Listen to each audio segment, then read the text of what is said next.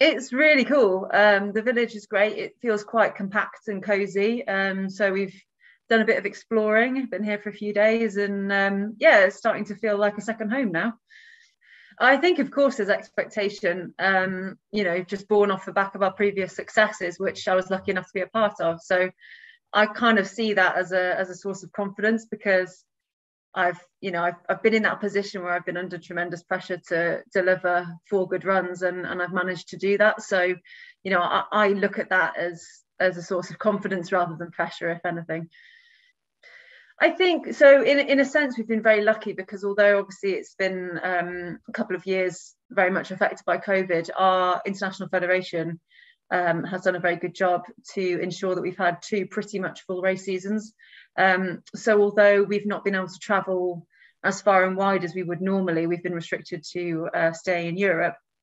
We have been able to compete on a, a full calendar. So, you know, in one sense, that's been amazing. It's been great because I know that other sports aren't as fortunate. I think the downside is um, we probably haven't had the variety of tracks that we would have liked to have been on um, and just in general our ice time you know already as a nation we we have a lot less ice time than other uh, nations, obviously, because we don't have our own track, so we are reliant on travelling um, and having access to those other places. So outside of competition, our um, our access to ice has been a bit restricted, and I think um, you know more is always better. So so more would have been great, but you know we are where we are now. Um, we we're here, we're in the Olympic Village, and I feel like you know at this point, almost everything that's gone before is you know it's irrelevant now. There's a line drawn in the sand, and it's all about the next ten days. So in the summer, we're based at the University of Bath. Uh, we have our push track there, uh, which is the only place in the UK that you can practice pushing a skeleton sled. But obviously, the push is only five seconds of the overall performance, and the rest of it happens. Um, you know, you're driving down a nice track, so um, you know we do our best to get out to as many different tracks as possible and get as many runs outside of competition as we can. Um, but I think you know it's fair to say that we're always at a disadvantage. Where you know wherever we go, it's someone else's home track, it's someone else's backyard. Um, but I think that stands us in really great stead for the Olympic Games because you know we're used to coming in with less runs than other people um, and having to figure a track out and just go for it. And I think it's no different here. Yeah, so we've managed to have um, a couple of track walks um, and we've also had one day of training. So um, been really great to get back on the ice. We've had uh, because of travel and logistics and so on, we've had a few weeks off the ice, which isn't ideal when you're talking about, you know, being really fine tuned on your on your sled. Um, having time off it isn't great, but um, it was really nice to have a day of training yesterday to get back on the sled and just to get back in tune with you with our equipment and then also with the track as well, and obviously to see what's the same as the test event in October and what might have changed.